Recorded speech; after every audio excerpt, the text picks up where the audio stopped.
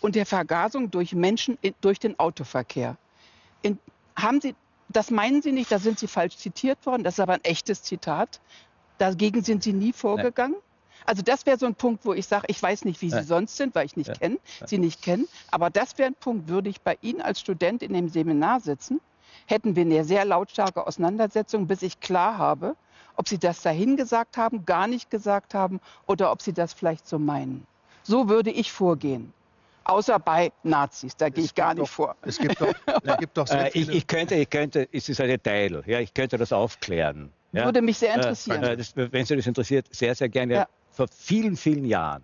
Okay. Ja? Also gerade sozusagen auch im, im, im, bei dieser beginnenden äh, äh Umweltdebatte einmal darüber nachgedacht, äh, mhm. wie dieses äh, offensichtlich unglaublich libidinöse Verhältnis äh, von äh, deutschen Menschen zu ihren Autos zu erklären ist. Ja? Immer ist Deutschland das einzige Land auf der Erde, das noch immer keine Geschwindigkeitsbeschränkung hat. Äh, und ich habe nur einen sozusagen eine Überlegung angestellt, ja, eine Le Überlegung angestellt, äh, natürlich auch die ganze Geschichte von Volkswagen und äh, äh Autobahnbau mhm. reicht ja zurück in die Nazizeit.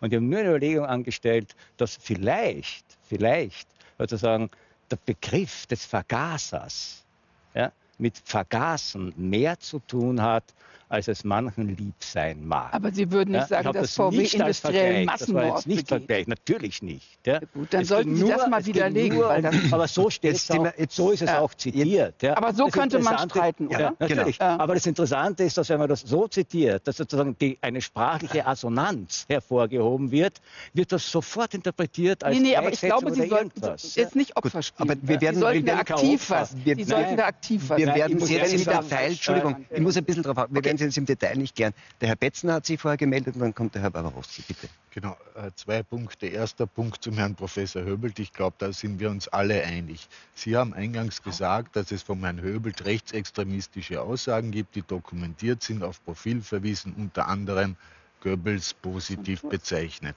Da sind wir uns, glaube ich, einig, dass da sowohl disziplinäre Konsequenzen an, an der Universität äh, haben muss, als auch äh, strafrechtliche. Wenn es bewiesen ist, das wissen wir alles nicht. Aber da sind wir uns, glaube ich, einig, dass sowas nicht geht.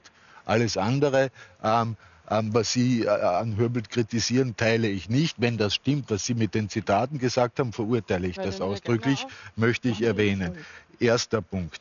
Ähm, äh, zweiter Punkt, den ich noch ähm, äh, kurz ähm, erwähnen will, ist, und fortsetzend an das, was ich gesagt habe, dass eben versucht wird, durch Tabuisierung etc. einfach den Diskurs und wann, wenn nicht die Universität historisch gesehen, ist der Ort der Auseinandersetzung, der These, der Antithese, des Diskurses, des Beweises, des Gegenbeweises. Ich erinnere ans Jahr 1837 ganz kurz. Ja? 1837 König, äh, Königreich Hannover, sieben Professoren, zwei darunter waren übrigens die Gebrüder Grimm, ja, die in allen ein Begriff ähm, sein werden, haben sich gegen den Staat aufgelehnt und sich für die Beibehaltung der libertären, unabhängigen Verfassung eingesetzt und sind dafür auch des Landes Wohin verwiesen worden. Das, das ist für mich Universität, das ist die Bildungselite des Landes. Wenn nicht Diskurs möglich ist, wenn nicht Auseinandersetzung und akademischer Streit dort möglich ist, wo dann? Dann enden wir, Schlusssatz, in einer Gesellschaft, die sich in ihre Echokammern zurückzieht, in eine wahnsinnige politische Polarisierung, wo dann Leute wie Trump, oder andere Präsidenten werden. also die, die Behauptung, dass ich pro Stasi gewesen wäre, obwohl ich, ich in die DDR, gezeigt.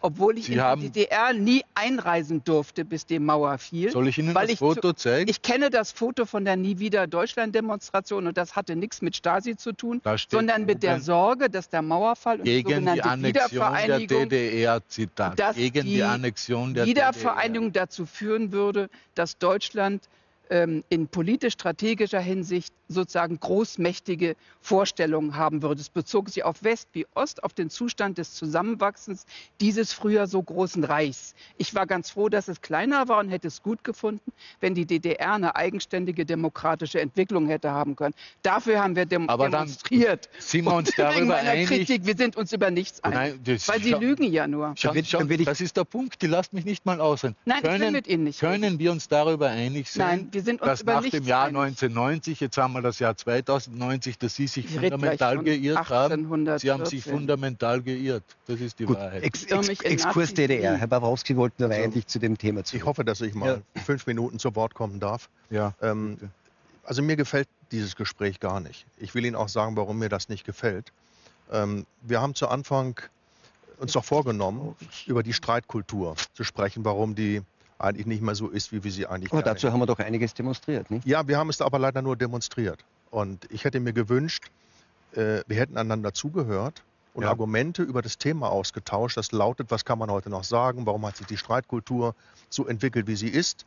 Äh, das bedauere ich sehr und das ist symptomatisch für die Situation, in der wir uns in Deutschland, vielleicht auch in Österreich, das kann ich nicht beurteilen, befinden, dass wir einander nicht mehr zuhören. Anderen sagen, mit ihnen rede ich nicht. Sie sind ein Nazi. Ähm, die Inflation des Nazi-Begriffs. Es gibt eine unglaublich große Nachfrage nach Nazis, aber es gibt nicht genug. Also muss man, muss man sozusagen den Begriff ausweiten. Er wird inflationär benutzt, aber er ist eine Beleidigung, eine Stigmatisierung. Äh, und wer mit diesem Begriff tituliert wird, muss damit herumlaufen. Wir müssen daran denken, dass Menschen, die im Internet stigmatisiert werden, Millionen von Menschen lesen das, da kriegt jemand ein Etikett aufgeklebt. Nicht der Herr Höbelt ist problematisch, sondern seine Thesen können problematisch sein. Darum muss es gehen. Nicht einen Menschen stigmatisieren, sondern die Studenten gehen in die Vorlesung, melden sich und sagen, Sie hören Sie mal das, was Sie da geschrieben haben. Damit bin ich nicht einverstanden. Das geht so nicht. Begründen Sie das mal und belegen Sie das mal, dass das, was Sie da gerade gesagt haben, plausibel ist. Damit gewinnen Sie viel mehr, als wenn Sie mit einem Plakat oder einer Fahne in den Hörsaal gehen und sagen, der muss raus. Da, Aber warum da, beleidigen Sie dann Studenten? Augenblick, lassen Sie, Sie mich doch einfach, lassen Sie mich jetzt, ich beleidige überhaupt niemanden, lassen Sie Aha. mich jetzt einfach mal, mal, äh, mal zu Ende reden. Es gibt sehr viele gute Gründe, warum an einer demokratischen, liberalen, offenen Gesellschaft das Strafgesetz der Maßstab dafür ist, wo die Grenze liegt. Warum ist das so? Wäre es anders, wenn Sie, ich Sie oder Sie entscheiden dürften, wann die Grenze erreicht ist, dann würden sich sozusagen diejenigen, die am lautesten schreien und die größten Machtmittel haben, entscheiden, wo die Grenzen liegen. Das können wir aber nicht machen. Und Herr Fleischhacker hat es ja gerade, hat ja gerade Sie gefragt, ähm, ob Sie sich vielleicht vorstellen könnten, wie das wäre, dass plötzlich jemand aus der anderen Richtung die Machtmittel in der Hand hätte, ihre Seminare zu stören, ihnen zu sagen, Definition ich fühle, bleiben alle jüdischen Menschen ja, in beiden Ländern ich, ungeschützt. Ich, rede jetzt auf einer ganz abstrakten Ebene über dieses Problem. Ich das rede darüber. Nein, aber es könnte doch jemand sein, der ist konservativ. Antisemitische Beleidigungen ja, lassen Sie mich doch, so lassen Sie mich Raum einfach jetzt mal. Ländern. Darum geht es doch hier überhaupt gar nicht. Doch. Sie verstehen sage, überhaupt nichts von diesem Problem. Dann reden wir über Ihre Thesen, dass Stalin schlimmer ich, als Hitler ich rede jetzt, Erklären dummes Sie mir Zeug diese ist das, was Sie reden. Das habe ich Erklären nie gesagt. Sie mir diese das ist dummes Zeug, das können Sie alles lesen. In Diskussionen Nein, Quatsch. Schluss aus. Mit so einem Quatsch rede ich hier überhaupt nicht. Es also Stalin darum, ist nicht schlimmer als Hitler. Es geht überhaupt nicht um schlimm. Aber, aber können wir es bitte bei der Frage bleiben? Es geht hier ja, aber er will es immer konkret und dann doch nicht. Entschuldigung, okay. es geht einfach um das Problem, dass wir uns klar machen, dass wir selbst nicht entscheiden können, darüber entscheiden können, was für alle anderen richtig und falsch ist. Das ist durch Strafgesetz geregelt, was verboten ist. Und wir können uns nicht selbst ermächtigen, anderen vorzuschreiben, wann die Grenze erreicht ist. Weil wir müssen uns immer in die Lage versetzen, dass auch andere das mit uns machen können. Und das würden wir nicht wollen. Das und das ist, doch der einzige Punkt. Und in der Universität, in der Universität, in der sind Juden in Deutschland gesellschaftlich komplett ungeschützt, weil das alles in dem gesellschaftlichen doch, Raum reden grade, Wir reden gerade über das Thema, wie in einer Universität ein Diskurs stattfindet. Ja, und wenn er Darüber über Antisemitismus ist, was ist dann? Die Universität ist der Ort in Deutschland und in Österreich, an dem es am wenigsten Antisemiten, Nazis und Rassisten gibt. Oh, ja. Natürlich gibt es sie überall, aber das ist der Ort, an dem sie am wenigsten vorkommen. Das Nennen Sie mir bitte einen Professor, der Nennen Sie mir einen Professor, der ein Holocaust-Leugner, ein Rassist oder ein Antisemit wäre. Mir ist keiner bekannt. Wir haben also Aber die, die, ja, bitte bei, bei, der Frage, nur wenn Sie bei der Frage bleiben, das ist genau die Frage, was was, wer kann die Grenzen ziehen und ist es so, und genau das ist ja das, das, das, das, kommt ja auch bei dem, was Sie sagen, raus, wenn sich jemand beleidigt fühlt, ist das die Grenze oder, oder muss es andere Grenzen geben? Also Schaden, wenn jemand Schaden zugefügt wird, und das ist durch Strafgesetz definiert, wann jemand Schaden zugefügt wird, dann ist Schluss. Sie dürfen den Holocaust nicht leugnen. Sie können niemanden rassistisch beleidigen. Das ist aber im Strafgesetz geregelt. Genau. Das liegt nicht in meiner Hand, das zu entscheiden, wann diese Grenze Sie, haben aber, Sie leben jenseits der sozialen Realität offensichtlich. Auf Nein, Wolke. ich lebe im Grundgesetz und, und, im genau. Recht darin Natürlich lebe können, Das ist die Welt. Sie haben Nein, vorher der, gemeint, der entscheidende Punkt haben, ist, dass wir zwei widersprüchliche Phänomene erleben. Wir erleben auf der einen Seite eine Erstickung und Zerstörung des normalen, gepflegten Diskurses miteinander. Das hat auch diese Runde gezeigt. Wir sehen das an den Universitäten. Wir erleben aber zugleich eine äh, Rechtsprechung des Europäischen Gerichtshofes für Menschenrechte, die kenne ich aus eigener Erfahrung, die die Grenzen der Meinungsfreiheit und des Zulässigen und Sagbaren immer, immer weiter steckt. Da komme ich auch auf Sie zurück. Ich wurde wegen vielen Kampagnen angezeigt, wegen Verhetzung, wegen Wiederbetätigung, ich weiß nicht was alles. Ich wurde in sämtlichen Fällen vom Europäischen Gerichtshof für Menschenrechte, wir haben bis ganz hinauf prozessiert, jedes Mal freigesprochen worden, weil der Europäische Menschenrechtsgerichtshof festgestellt hat, dass das im Rahmen des Diskurses und des öffentlichen Meinungsaustausches zulässig sein muss in einer Demokratie und sagbar sein muss und alles Gut, andere das heißt, Zensur das heißt, Sie und, einen, und ein das, neuer Metternichscher Verfolgungsstaat. Das heißt, Herr Betzner, Sie teilen die Ansicht, dass das Strafrecht diese Grenze sein muss. Herr Lissmann, Sie wollten genau. was sagen. Das, was auch der Herr Professor gesagt hm. hat, das Strafrecht und Medienrecht regelt genau, was zulässig ist und was nicht. Gut. Zu sagen, was der Höbel gesagt hat, wird strafrechtlich ja. verfolgt. Ja. Und das ist genau das, das Gesetz gibt den Rahmen vor. Genau, es gibt ja gar keine Spielräume. Äh, nein, es gibt keine, äh, also natürlich gibt es Spielräume und es gibt vor allem auch Grauzonen. Äh, natürlich. Und äh, es, geht, es geht sehr wohl in diesen Grauzonen. Äh, das weiß ich sozusagen auch aus dieser eigenen äh, Erfahrung aus den nach so 68 und folgenden Jahren. Es geht natürlich darum, was man sozusagen jetzt in diesen Grauzonen bei bei der Frage, wer dominiert welche Diskurse, äh, wie man hier seine Machtansprüche formuliert und wie man seine Machtansprüche äh, durchsetzt. Und ich finde gerade diese Frage äh, der, der, der, der Redefreiheit und jemandem das Wort zu entziehen, das ist ja der Inbegriff von Macht, besteht doch darin, wenn ich jemandem sagen kann, du hast nichts mehr zu sagen, du hast jetzt äh, zu schweigen, du darfst nicht mehr reden. Deshalb ist das natürlich immer wieder auch so reizvoll, äh, genau dieses Spiel zu spielen, in welchem Rahmen auch immer.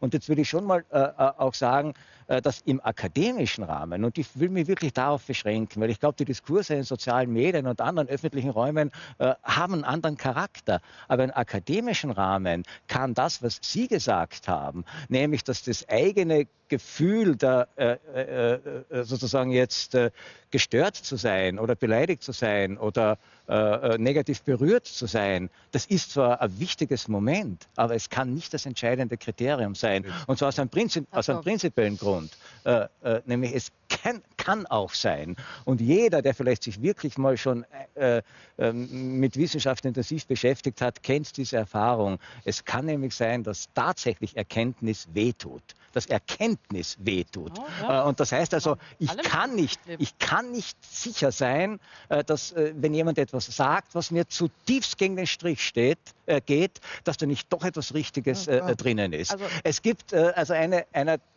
der Texte, die für mich in dem Zusammenhang ganz wichtig sind, ist von John Stuart Mill on Liberty über die Freiheit. Mhm. Und da sagt, der hat einen ganz, ganz radikalen Begriff von Meinungsfreiheit. Äh, und da sagt er, es gibt im Grunde nur zwei äh, Voraussetzungen, unter denen man den Eindruck haben kann, man hat das Recht, jemandem das Wort zu verbieten. Die eine Voraussetzung ist, äh, es könnte sein, dass der Recht hat, aber ich will das nicht hören. Angst vor der Wahrheit. Die andere Voraussetzung ist, ich bin mir hundertprozentig sicher, dass der nie und nimmer Recht haben kann. Das ist Unfehlbarkeitsanspruch. Also entweder haben wir Angst vor der Wahrheit oder wir halten uns für Sie meinen, Antisemitismus lässt sich nicht beurteilen, das muss immer wieder neu erlebt werden? Schauen Sie, nein, was, Sie, was Sie sagen, aber, äh, äh, ich kenne dieses, also was Beispiel, Sie sagen, ist so eine Beispiel, bürgerliche äh, Haltung, die äh, vollkommen losgelöst ist von Geschichte, von Ökonomie nein, und von Herrschaftsverhältnissen. Das ist die, das ist die Haltung, dass sich eine schwarze unsere, Studentin in, einem, in einer Vorlesung von abfälligen Bemerkungen über die Nichtkultur der afrikanischen Menschen, immer ein großes Land, dieses ganze Afrika besteht ja nur aus einem großen Komplex, gekränkt fühlt und der Professor oder der Freund des Professors das nicht sehen will, weil er keinen Zugang zu dieser Ebene von Diskriminierung hat und schon gar nicht Dann reflektiert. kann man ihn durchaus darauf aufmerksam ja, machen. Äh, das, wenn der das nicht. Ich weiß nicht, in, äh, Sie, also, also ich, äh, Sie haben die ganzen Diskussionen an der Universität nicht mitgekriegt. Äh, oh ja.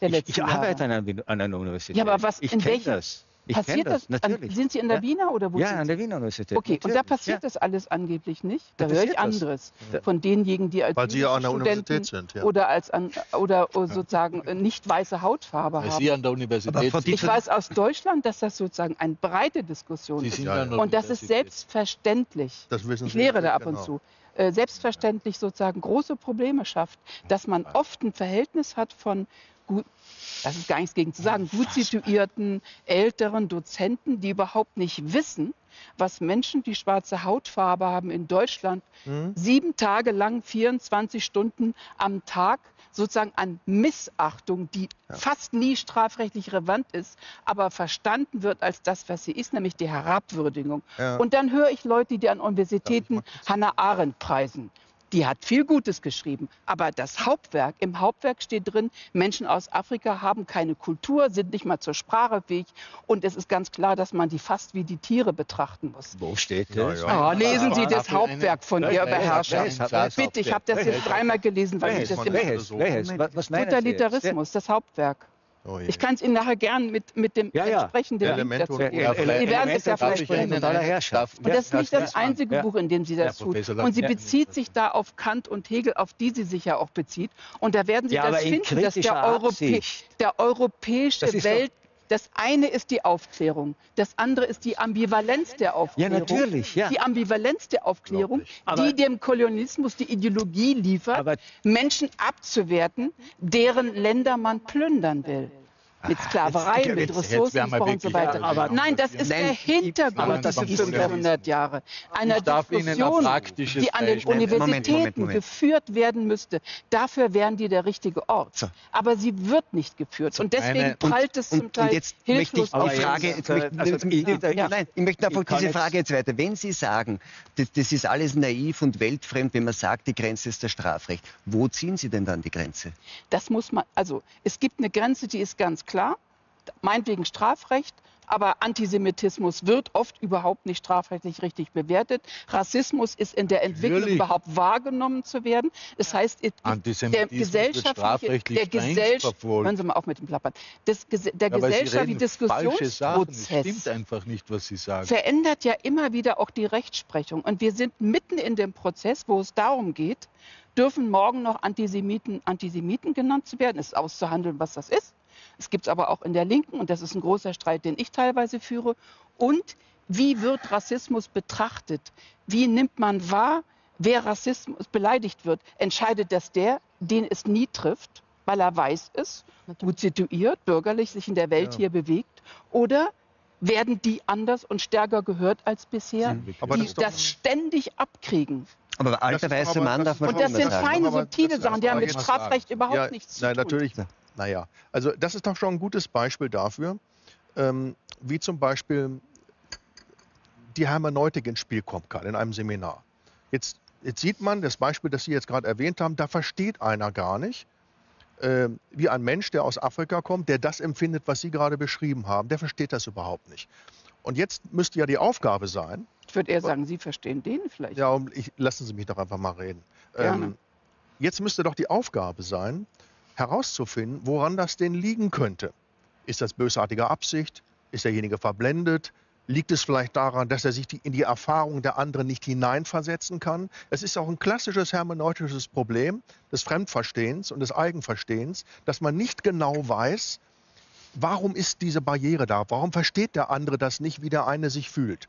Und das ist die, genau die Aufgabe, wäre die Aufgabe eines Historikers, eines Ethnologen, eines Philosophen in einem Seminar, dieses Problem aufzuwerfen und es dann in einem Gespräch und Dialog aufzufächern, um, zu, um klarzumachen, in welcher Perspektive der andere steht. Und dazu ist aber erforderlich, dass sich beide Seiten ganz kurz vergegenwärtigen, wo ist denn der Standort von dem anderen, damit man das versteht wenn man an sich nur anbrüllt, kommt man keinen Schritt weiter. Dann ist der eine beleidigt und der andere. Aber das, was Sie gerade gesagt haben, das bestreite ich ja gar nicht, dass es das gibt. Aber das, das gibt gerade die Chance, in einer Universität genau auf diese hermeneutische Weise miteinander umzugehen. Und das führt zur Entwicklung einer Gesprächskultur.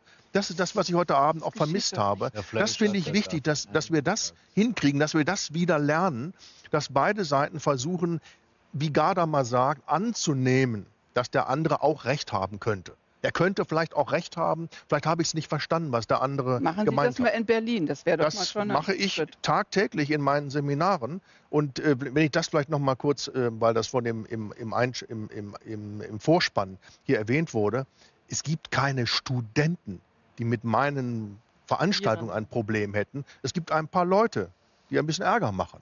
Die Seminare sind ganz wunderbar, sind von Toleranz und äh, Liberalität und Offenheit geprägt. Und das ist, um das nochmal zu sagen, worüber wir hier reden, ist ein Minderheitenphänomen. Die meisten Studenten und die meisten Professoren sind liberale, offene, äh, weltoffene Menschen, die imstande sind, Argumente auszutauschen. Das ist die Realität. Wir sollten nicht so tun, als seien die Universitäten Kampfzonen, in denen Leute sich bekämpfen. Das ist nicht die Realität, das ist nicht die Wahrheit. Das heißt, man muss Ihrer Meinung nach Minderheiten ähm, einfach ausschließen und wenn, ja, weil es Minderheiten das sind, Gegenteil das ist der Fall. Halt nicht über die Sie haben doch gar nicht zugehört. Aber das, wie kommen Sie auf diese These? Wie kommen Sie denn darauf? Also, aber, begründen, Sie diese These. Wie kommen Sie auf, auf, auf das hin, was Herr Bawarowski gesagt hat? Er sei der Meinung, dass man Minderheiten ausschließen muss. Also Minderheitenprobleme erwähnt, aber da möchte ich jetzt nicht mehr darauf eingehen. Ich möchte eigentlich, was Herr ähm, Bawarowski vorher gesagt hat, mit ähm, das das Studieren, äh, das, das ist ja quasi dieser ganze Diskurs, den wir,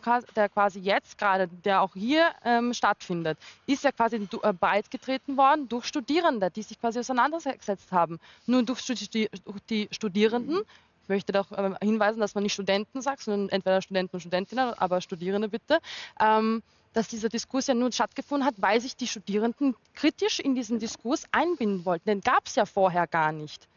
Einerseits bei, ähm, bei dem Fall von Ali Schwarzer, das war einfach nur, Ali Schwarzer ist eingeladen, sie diskutiert, also die diskutiert gar nicht, es ist quasi wie ein Vortrag gewesen, sie soll, wird ihre Meinung kundtun. Das war dann ein Punkt mit, wie auch ähm, im Statement von der HUFAG, von der dortigen ähm, Studierendenvertretung, die gesagt hat, äh, man möchte, man, die Universität möge sich positionieren. Also das ist ähm, sowas wie irgendwie Meinungen verbieten, hat das ja gar nichts damit zu tun. Also dass immer dieser Vorwurf, man würde Meinungen verbieten. Und dann bei den also Herrn also Höbel ist es eine ganz andere Sache. Das, das ist ja nicht, man, äh, weil vorher irgendwo ein Punkt ähm, angemerkt wurde, warum man nicht vorher diskutiert und warum Studierenden dann nicht ja. auf ihn zugehen. Das ist ja nicht erst, erst gestern aufgekommen, dass man hergekommen ist, am, äh, ähm, sich den Herrn Höbel ausgepickt hat und sagt, jetzt gehen wir da raus und gehen wir protestieren. Das ist ja schon ein, wie schon gesagt, ein strukturelles Problem. Das ist schon, äh, schon bekannt, dass Herr, äh, Herr Höbel problematisch ist und solche Aussagen schon immer wieder getätigt hat und dass die Universität hier nichts getan hat, obwohl die, ähm, die ähm, Hochschulvertretung, die dortige äh, auf der Uni Wien, sich dazu ähm, schon geäußert hat, mit dem Rektorat in Verbindung gesetzt hat und auch damals immer wieder darauf hingewiesen hat und auch Studierende bei den Studierendenvertretungen immer ihre ähm, Sorgen kundgetan hat. Und das ist ja schon im Vorfeld passiert. Und wenn, wenn man da auf taube Ohren stößt, dann muss man halt nach draußen gehen und protestieren und etwas lauter sein. Dann muss man laut äh, seine Meinung kundtun, weil die eigene Stimme nicht ähm, gehört wird. Und okay, dafür sind auch die Öster ist die eben, österreichische genau. Hochschülerinnenschaft auch da, dass wir für die Studierenden eine Stimme nach außen sind. Für diejenigen, die nicht gehört werden quasi die quasi ähm, ausgegrenzt ja, werden, diskriminiert zwischen, werden. Zwischen, zwischen nicht gehört werden und äh, sozusagen seine Anliegen, egal wie gut sie begründet sind, durchsetzen können, ist ja ein Unterschied. Natürlich sind die gehört worden. Das Rektorat der Universität Wien hört die natürlich, aber sie haben offensichtlich die Argumente, äh, die Argumente waren offensichtlich nicht stichhaltig ja. genug. Und äh, sozusagen das, das, was akademische Lehrfreiheit heißt, war eben offensichtlich für die Universität Wien äh, ja, das, das entscheidendere ja, Argument. Das ist das eine. Und Und das andere, ich wollte schon etwas klarstellen. Ja? Ich habe jetzt wirklich wenig Gründe, die alles Schwarzer zu verteidigen.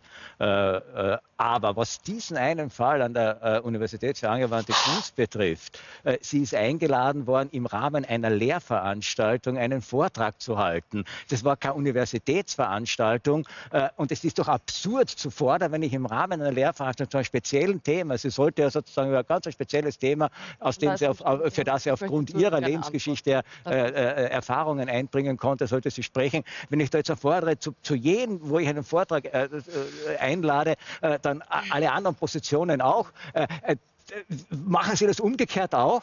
Machen Sie das umgekehrt, wenn Sie sozusagen jemanden von der linken Seite einladen? Nein, Sie wollten ja noch nicht mal suchen, wo also, ist also, Moment, Sie wollten noch nicht mal diskutieren. Es sollte nicht diskutiert werden. Das war ein kritischer Punkt. Und den ja. Sie nicht auch. Sie Nein, versuchen, geht, Diskussionen zu verhindern. Vor allem das hier, also kann ich mir vorstellen. Doch, an die Einladungspolitik doch, das war leider so. Ich darf da den Verstorbenen... Moment, wir dürfen auch fordern.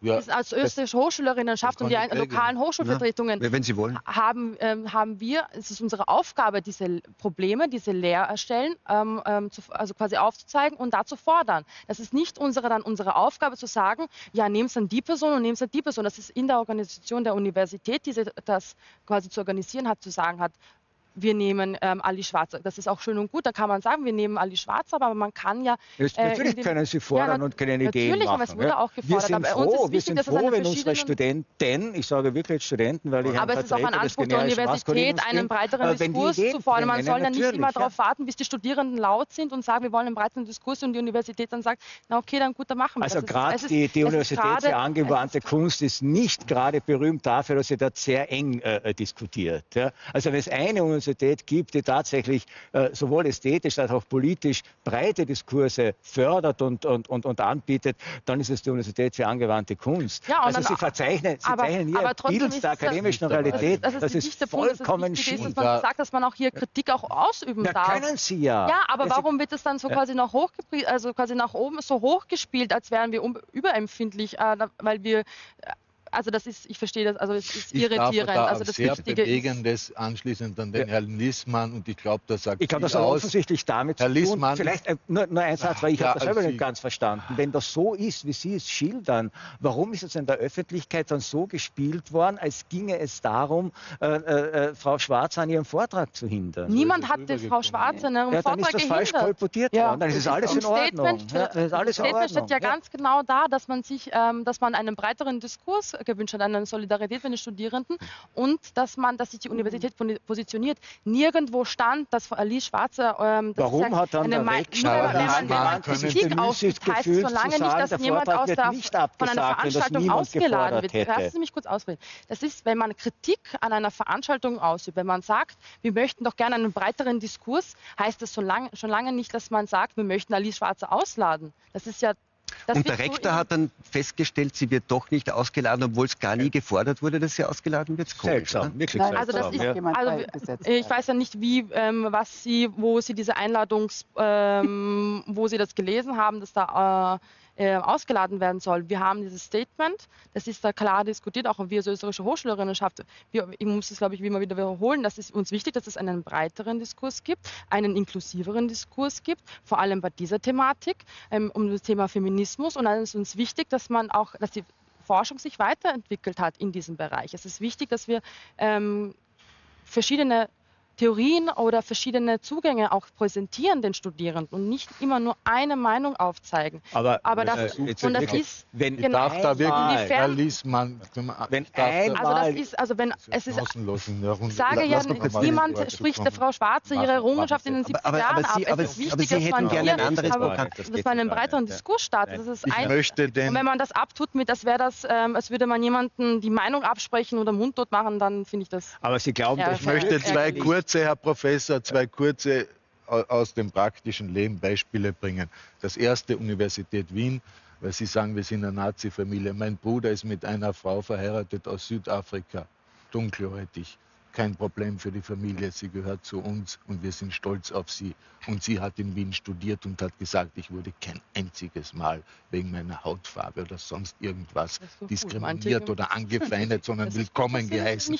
Erster Punkt. Zweiter Punkt der verstorbene Professor Hödel Rektor der Universität Klagenfurt, von dem ich heute noch den Hut ziehe, wir haben eine Diskussionsveranstaltung mit Jörg Haider an der Universität geplant. Da gab es Proteste auch genau von Ihrem Lager. Wissen Sie, was der Professor mein Hödel, Lager. was, ja, das linke Lager, was der Herr Professor Hödel gesagt hat. Darf ich jetzt einmal ausreden? Wissen Sie, was der Herr Professor, was der Herr Professor also Hödel, können Sie mal zuhören? Haben so ich habe hab, zugehört, habe ich schon. Der Herr Professor Hödel hat gesagt, wer, wenn nicht wir an der Universität haben die Pflicht, auch andere Meinungen und andere äh, Positionen zu Wort kommen zu lassen. Ich teile die Meinungen des Landeshauptmannes Haider überhaupt nicht, aber selbstverständlich wird die Veranstaltung stattfinden, weil es unsere Pflicht ist als Universität, den Diskurs und gegenseitige Meinungen zuzulassen. Und das ist, glaube ich, ein schönes Schlusswort. Wir sind, wir, wir sind ganz am Schluss, Herr Barbarowski, möchte nur noch, weil Sie ja sehr betroffen waren auch von, von, von Aktionen.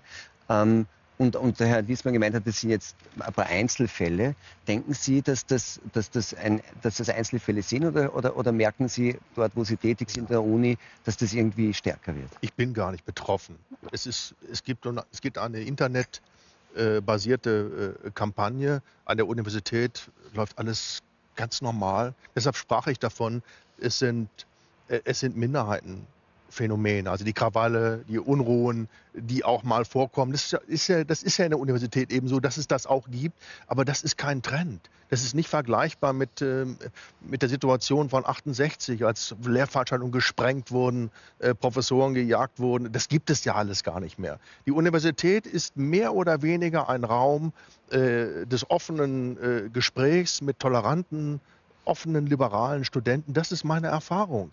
Und es ist einfach falsch, wenn in der Öffentlichkeit behauptet wird, das sei jetzt anders geworden und Professoren seien irgendwie zur Jagd freigegeben. Das ist falsch, das ist nicht so. So erlebe ich das an meiner Universität nicht. Und in den Lehrveranstaltungen können Professoren kritisiert werden. Sie werden auch kritisiert. Und das ist auch völlig in Ordnung. Das muss auch so sein, weil es in der Wissenschaft eben keinen Konsens gibt. Wissenschaft ist das Gegenteil von Konsens. Äh, da wird man herausgefordert. Aber das geht nur, indem man Argumente plausibilisiert. Und das sollen Studenten lernen. Und dabei lernen das eben, da, da, da lernen das eben Professoren auch. Professoren selbst lernen auch, sich Gut, selbst in wir, Frage zu stellen. Wir, wir haben das, das hier, wir haben, wir haben das hier auch eine äh, Stunde lang äh, versucht. Ähm, es ist uns mehr oder weniger gut gelungen, würde ich sagen, zwischenzeitlich, meine Damen, meine Herren. Vielen Dank für dieses Gespräch. Ähm, Ihnen einen schönen Abend und bis zum nächsten Donnerstag beim Talk im Hangar 7.